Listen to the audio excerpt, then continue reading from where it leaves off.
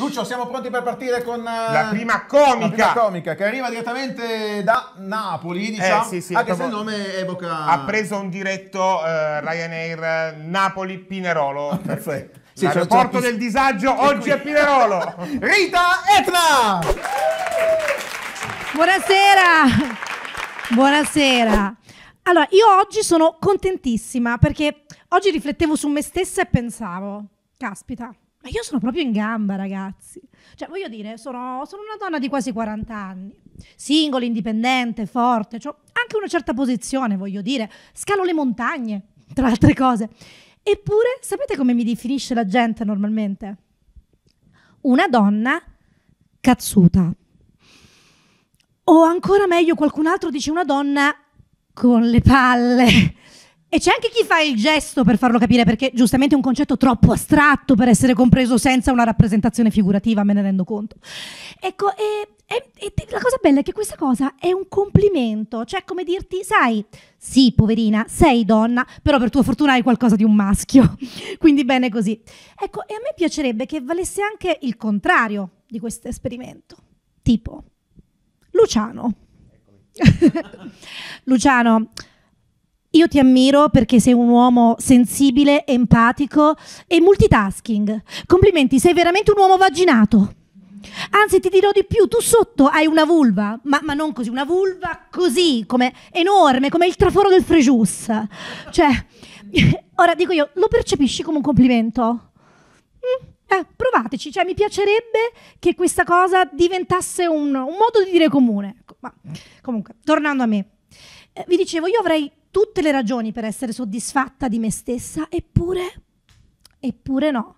Eppure no, io non sono, come dire, per la società io non sono una donna completa, perché mi manca quel tassello, quel particolare che mi renderebbe veramente una donna realizzata. Quella cosa senza la quale, parliamoci chiaramente, una donna può veramente definirsi tale.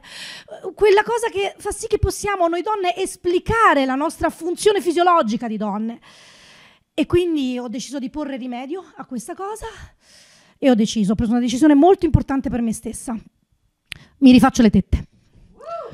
Basta. Ho deciso, le rifaccio.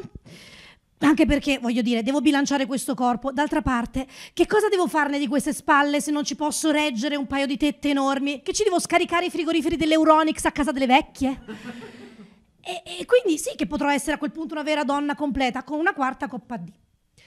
Ne ho parlato col mio capo, tra altre cose, perché mh, il chirurgo mi ha detto che avrò bisogno di un paio di settimane di mutua e sono felicissima perché il mio capo è stato troppo carino con me quando gliel'ho detto, è stato contentissimo. Mi ha detto "Wow, Rita, sono veramente felice per te, ma soprattutto per i colleghi in ufficio. Hai idea l'umore come si risolleverà adesso? Sarà bellissimo". E anch'io, devo dire la verità, non vedo l'ora di potermi trovare in una riunione a dover dire a qualcuno "Ehi, guarda che la mia faccia è più su". è il sogno di una vita che si realizza davvero. No, signori, Dio benedica la chirurgia estetica e tutto ciò che ci fa stare meglio con noi stessi, davvero. Io odio gli ipocriti, odio quelli che criticano, criticano le rifatte, tipo Diletta Leotta. Ora, Diletta Leotta è indubbiamente un grandissimo pezzo di gnocca, non c'è niente da dire. Eppure c'è chi dice, beh sì, però non è naturale, lei è rifatta. Certo, hai ragione, perché effettivamente essere bella perché ti sei rifatta le tette non è un merito, mentre invece nascere figa lo è. Ah no, lo capisco.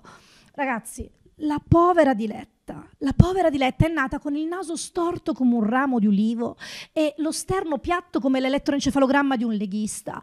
Cioè, Diletta, Diletta ha dovuto sgobbare degli anni per mettere da parte i soldi per pagarsi tutta la plastica che si è messa addosso. Quelle tette, quelle tette sono il frutto del lavoro di una professionista, del sudore della sua fronte. Cioè, andrebbero ammirate per questo, no?